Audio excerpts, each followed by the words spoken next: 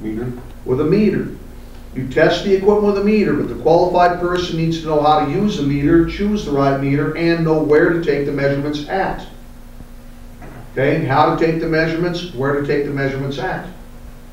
So the qualified person needs this type of skill. This type of skill set, which is basically familiarity with the equipment that they're using.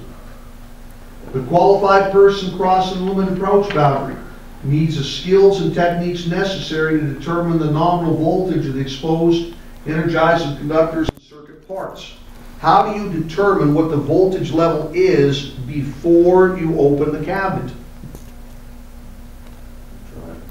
You need to know what the voltages are before you open those cabinets. How many voltage levels, where are they, what are they being fed from? Okay, so you can look on the drawings, you can look on the equipment. The equipment might be labeled, it should be labeled. If it complies with code today, it'll be labeled as to what the voltage is and where the cutoff is. Okay, if there's more than one power source, it should be labeled. If it's not labeled, you can you actually use the drawings, look at drawings, you can walk the systems down. But the qualified person needs this skill set to be able to identify what the voltage is before the cabinet doors open. The qualified person needs to be familiar with the approach distances, minimum distances. That's just what we talked about. Those distances can always be expanded, but you got minimums that cannot get any closer. You got to be familiar, qualified person, with the decision-making process that determines the degree and the extent of the hazard and the necessary PPE. Well, we talked about that one yesterday. What determines what the hazard is, is the short circuit current at that point and the overcurrent protection upstream. If that overcurrent protection takes a long time to to clear, you got a huge explosion. And if it takes a short time to clear, you got a very small explosion. So the fault current, short circuit current, and the upstream overcurrent device is the deter, what makes the determination of what the hazard is and the type of PPE you're gonna use.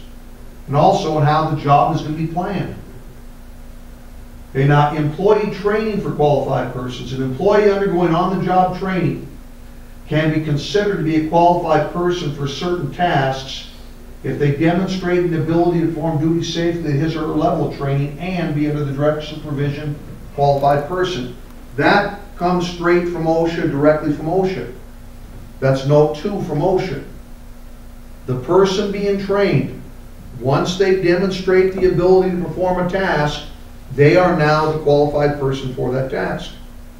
The supervisor only has to hold their hand one time, stand over and watch them one time. Once they demonstrate it, they own it. Which brings up that again possibility, what if they're uncomfortable with the task? Then they darn well better say something at that point in time. Because they're considered to be the qualified person. So that definition works both ways. The employee's got to be trained on voltage detectors, how to select the appropriate detector, demonstrate how to verify to use the voltage detector, and the training must include all limitations of the voltage detector. Well, let me do some drawings for you guys. Let's test your knowledge on meters real quick. General knowledge. Here I got a piece of equipment